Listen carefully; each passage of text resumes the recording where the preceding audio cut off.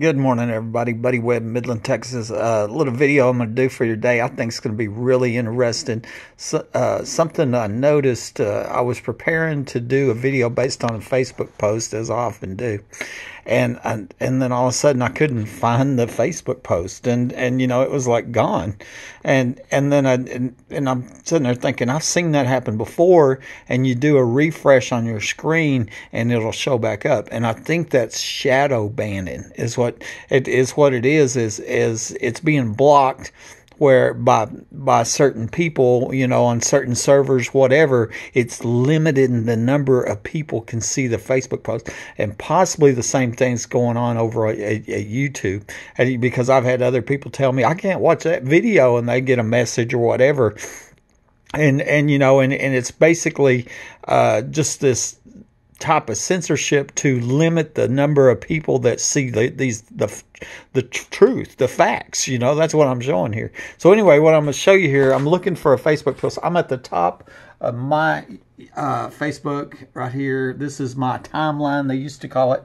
It's the top of it. And the, and 15 minutes ago, I posted this story. Uh, at Clyde, Texas, a man they found his his body.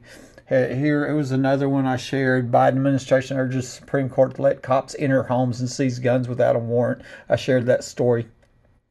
This one was about being held accountable, and I talked about you know the people that that made the choice to break in my home with guns and, and cut my phone lines and shoot me by surprise, you know, and and you know their poor decision resulted in an innocent homeowner being crippled for life, you know, and there's consequences to that, and they need to be held accountable. This was somebody tagged me on a on a TikTok video about tunnels, uh, there, and I just put my comment with the people in the attic video on it. 10 hours ago, my, here's another Facebook post. Spring breaker, uh, woman drugged, raped, found dead in Miami Beach. I shared that one. Another, this is a joke. Okay. Here I am, uh, Monkey Works. That was another video that was sent to me in private message I shared. Uh, it mentioned tunnels. This one I thought, uh, you know, I made that yesterday. I'm a crippled victim of gun violence after being ambushed and shot during a burglary, but I strongly support homeowners' right to protect lives with the gun. The killers have them. Okay, and that was the point I'm making in that Facebook post. And so here we are. We're at 12 hours. LA opens its first tiny home village. And so the, the post that I'm looking for that I was going to make this video out of, I just don't see it there. Here's another one. Sex traffickers target uh, Native American children. This is my my Facebook post just within the last 12 hours. Okay, here here's a, a missing woman at Abilene, and etc. And I'm scrolling scrolling down. Uh, scripture. I post a scripture every day. Okay, the various news stories. Okay, that that's how Facebook works. The one I'm looking for isn't there. Okay, so what I'm going to do is refresh right here my screen. Okay, that's going to reload it. And then I'm going to go scroll down and there it is. See, it wasn't there. That's the one I was going to make. That's what I'm talking about. That's the shadow banning is that, you know, I wanted to show you that, that it's not there. It is there. It's not there. It is there. And I'm thinking there, and that's not an accident. That's on purpose, specifically on purpose to block this story. Because this is an incredible story of homes all across America being rigged with hidden access and, and just burglaries by the hundreds of thousands, theft, murders, secret police, the doctors up there uh, faking x-rays, maiming, mutilating, dismembering crime victims. Huge, huge story. I just want to show you that shadow banning. Let's jump into what the, I was going to make the video about in the first place, and that was this time, uh, this post. I wrote, police are allowing felonies.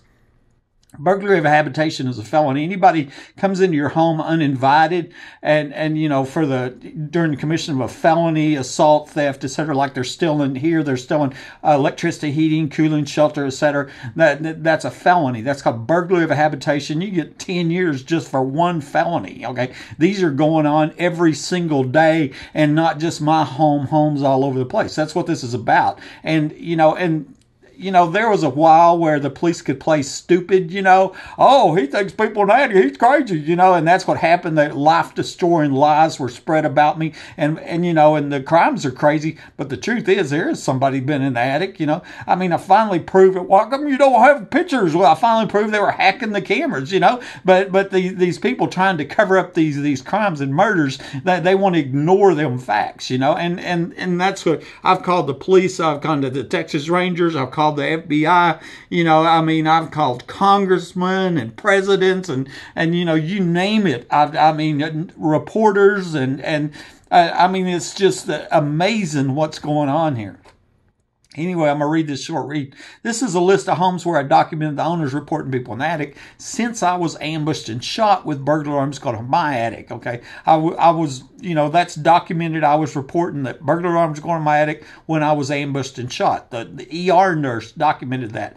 And besides that, I had already reported something in my attic 14 months before that they cover up the crimes, uh, these crimes, by falsely labeling the homeowners crazy, regardless of how much evidence that is. And that's what I've seen here. And then also on the police scanner calls, you'll see where the dispatcher is calling the the the crime victim crazy before the police ever get there. You know, I've got several examples of that. That's the modus operandi to cover up these crimes. This list of homes is just the ones that I've happened to find out about. So obviously there are many more of them. I lived here for two years before I figured out it was going on at my home. Come to find out, the last owner of my home was reporting burglaries before he died. What a coinky dinky. That means coincidence. Your home could be rigged right now with somebody in the attic and you don't know it yet. These burglars don't pay rent, they don't pay taxes, and they don't pay utilities. It's, you're paying for that. I mean, it, this is this is a money making crime operation, and and I suspect that's why why you're having all the police corruption, and you know, and their bribes are being paid off. You know, where police look the other way and and uh, and, and and allow allow these felonies to be committed. If you try to stop them like I did, you may be murdered, okay, with it covered up by the secret police and the press. And, and I don't know how many times I said I had to pay to get them police identified. Took six years and a $2,000 reward of disability money saved up to, to get them identified. I mean, this is just lawlessness, in your face, bold law. That should have been a national news story in itself they can take pictures of you and your family anytime they want. You know, I, have been here by myself for, for many years, but I used to be married. She had an underage daughter. You can bet they're taking pictures of, of, of, when we had sex or in the bathroom. You know how many how many sheets of toilet paper I use when I sit on the pot, and then even children. And, and it's not just my home; it's all these other homes too. They can also easily get your password. So I mean, they can hack your your security system. They can hack your computer. They can hack your phone. Whatever you know. This is what I've been trying to get law enforcement to stop. That's why I've contacted hundreds and hundreds of times various law enforcement and sending them evidence, you know, and me going up there and nothing seems to be able to stop these crimes. There are many victims besides myself. However, I did see a motion light on in my attic uh, today, and well, actually, it was yesterday. That's because I wrote this uh, it says seven hours ago last night before I went to bed. And then I went people in the attic, and this is the uh, you know the video that I share all the time. And here's just a list of the addresses here. See, back when I was ambushed and shot, or first reporting people in the attic, or ambushed and shot, and saying the you know burglars, I'm going off the attic. I didn't have all this. I didn't. I didn't have all these police scanner calls. I didn't know this was going on at all these other homes. You know, I mean, I just knew what was happening at my home in Midland. So then, you know, I put a, a, a link here to people in the attic on this, and I've already got it ready up here. And basically, just give you an example, here here's right in the middle of this one.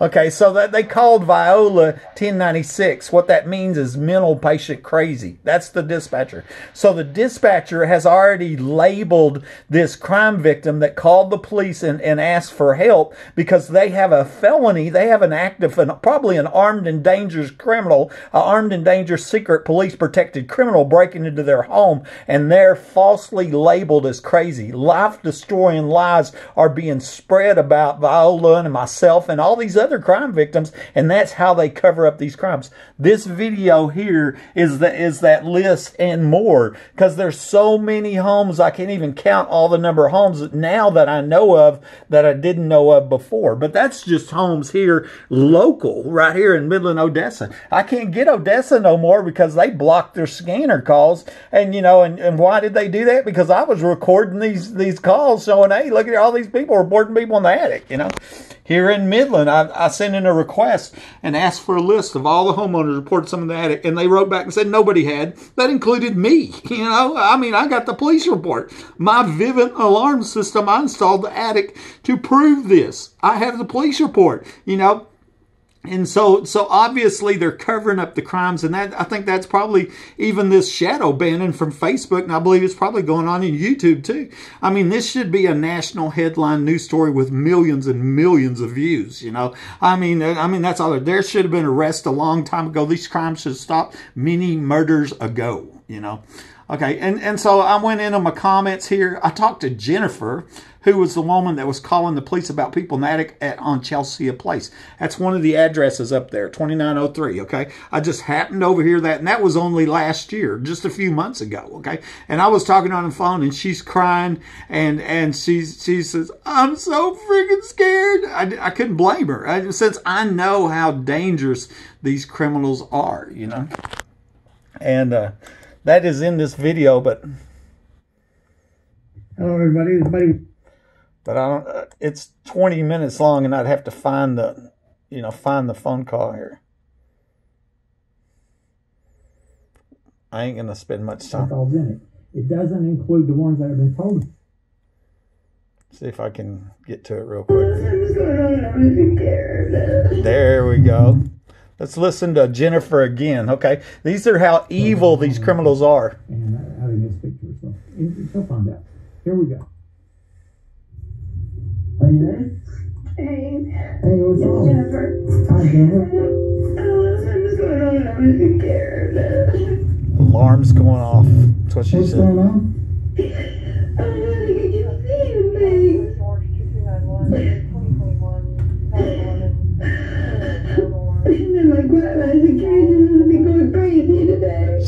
Security system going off.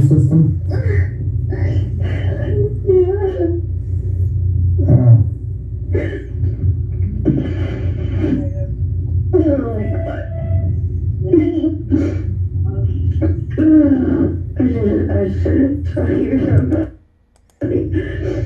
hear somebody. and it goes on and she's crying i'm so friggin' scared. I felt sorry for her you know? And and, and she has every right to be scared. They ambushed and shot with my, me with my phone lines cut you know? And then used secret police to cover up that that failed murder you know the, next one, my roofer told me about a home on Dartmouth Street, and when I was doing research on it, I noticed the next door neighbor was the parents of Curtis Lloyd. He was the guy that found the remains of Haley Dunn in Scurry County two days after I wrote the Department of Justice and suggested they look in the underground homes here. I thought that was very another big coinky dinky, right? You know, because I always suspected Curtis was chosen somehow to go out there and find them remains because I got a dozen people documented saying that little 13 year old famous missing murdered child, Haley Dunn, was killed in Odessa, and that's Ector County. But her remains are found in Scurry County two days after I wrote the Department of Justice. That's what I show in this little clip go. right here. Okay. And I suggested that you come to my house and you look for the underground facility. I have overwhelming evidence to support the allegations of underground facility. I mentioned Haley Dunn. I said maybe she is being held by these slavers behind my home right now. And and so I, I sent this email this to the Department of Justice, and two days later, her remains are found in Scurry County by Curtis Lloyd. I would later find out that the next door neighbor of a home where they were reporting people in the attic was the parents of Curtis Lloyd. I suspect he grew up in that home, you know, on Dartmouth Street. And so that was that was another one here. And then and I'm only doing a few examples. A woman who lives in my hometown of Hobbs, New Mexico, told me about people in the attic where she lived, and she went on to say that her boyfriend had told her that him and another guy shot somebody in in Midland. This shows these crimes cross the state line. And I suspected it was probably me, you know, but I never got the names or whatever. I did take print screens and proof of this. That's what's in this video. And I sent it to law enforcement, but it's like a black hole when I send, uh, you know, evidence to law enforcement about these violent know, crimes. It, it fits all the uh, evidence. And, and she's like, oh, I know Laura Rogers, etc. 45 handgun. And then she goes, when Donnie was drunk, he and his friend shot a guy. And I said, in Hobbs? And she says, no, Midland. And I'm like, wow, maybe this guy shot me, you know? And, and I'm like, who's this? Do you see how big that is? I mean, if it didn't shoot me, shot somebody else. That's what she's telling me. You know, did they did they die? Was this cold blooded murder? You know, why isn't this in the news? You know, I mean, I you know I've screenshotted it, documented her telling me that, and this is somebody that was reporting people in the attic in my hometown of Hobbs, New Mexico. Okay, okay, and then I went on my next post here after I had survived the home invasion and murder attempt here in Midland. I learned that people were saying, "Oh, he thought people were breaking into Hobbs' house." As, as if I was crazy or whatever, right? Okay. And the truth was, I hadn't even considered that, but I but I feel sure of it now. In 2002, my youngest daughter noticed a light on in the attic, and I hadn't been up there. But I suspected that it was an ex-wife named Cindy that I'd just filed divorce on. Okay after I found out about all these other many homeowners reporting people in the attic, that there's many, many homes rigged with this hidden access where these felonies are being allowed by, by law enforcement, I thought about the home, home in Hobbs. And I asked the ex-wife Cindy online if she'd been in the attic, and she replied back, I wasn't in the freaking attic this she sounded truthful, which meant that if Cindy wasn't in the freaking attic, then somebody else was in the freaking attic, and that home was rigged. The home that I moved from. I lived there 16 years, never even suspected it, right? Come over here to this home. See, the ex-wife told me here in Midland, she told me one time, she said, you were chosen to buy this home. Well, who chose me? Why did they choose me? They choose me because of my life insurance, because I was easy to murder, because my family turned their back on me. You know, uh, well, I've got killers breaking into my home. You know, uh, you know, because I own my home, they're going to make a lot of money when they murder. Why? I don't know. Who? I don't know. You know. And but anyway, I was chosen. That means it happened before I moved here. Okay, that home uh, that in Hobbs was built by my first in-laws, the Callaways, who also built the one next to it where they used to live. Okay, my dad married Ann Callaway after the murder attempt, and then they quit talking to me for the last uh, several years. My dad died in 27, 17. I feel strongly that home was rigged just like this one with the tunnel going from that other home, and they built both them homes. And that's why I'm showing on freaking attic right here. I think I got it right here, okay? And and so here I'm showing the messages between me and Cindy. Cindy died not long after this, and that's amazing because there's so many people that die, you know. And you know, she's my age, of course. And that was my whole point, is because I assumed all them years it was Cindy that got my attic because I proved Cindy had been sticking my home. And Cindy wrote back here, and uh, and you know this is you know, this didn't even fit. I don't know anybody that wants to kill you. That's ridiculous. Of course, I didn't say anything about wanting to kill me there, you know, even though I've had my life threatened many times and survived a murder attempt, right? But anyway, she says, I never got in the freaking attic. That's how come I'm naming this video. Okay, yeah, and, and that's what I was saying a while ago. Well, Cindy didn't get a friggin' attic then somebody else did, and that means that home was rigged. And I'm sitting there thinking, ah, I wonder if the Callaways rigged that. And, you know, that was them first in-laws, and, and that would explain Ann Callaway ended up marrying my dad, them quitting talking to me while I'm living under the threat of death with criminals breaking into my home every day, you know. And, and so the last post here, we're going to end this. I have a playlist on my YouTube channel, which is called Attic Investigations with a list of videos for the various other homes where the owners reported somebody in the attic. And I have a link to my playlist. And, and I have a screenshot. And, and I, I'm going to show you here. I think I'll just go there and show you. And, um, because what I can do here, and let me go, this is my YouTube channel right here, okay? And then up on the menu bar is playlist, okay? So then you go into playlist. This is my playlist I've created, and I have one called Attic Investigations, okay? Nine videos is in this playlist I'm going to pause that. And over here on the right is the list of the videos. And that's these videos I was showing you. Four homes in Odessa. That's one I didn't even talk about. One in Carlsbad, New Mexico. That's the one where the lady set the home on fire. You know, here's a smoker in the attic on 300 Hickory Street. These are videos I didn't even put in that Facebook post. Okay. And these are some of the other homes where I've made the videos. And, you know, and I'm thinking what, you know, real law enforcement could use these in their investigation and stop this crime ring that's rigging these private homes and killing people and stealing their, their property and, and, and all the other crimes that, that they're committing. What's going on here is lawlessness. Of course, I thought it was interesting that, that this, this Facebook post wasn't showing up. It shows up and then it doesn't show up. Remember, I refreshed it and all of a sudden it was magically there. Shadow banning. Buddy Webb, Midland, Texas.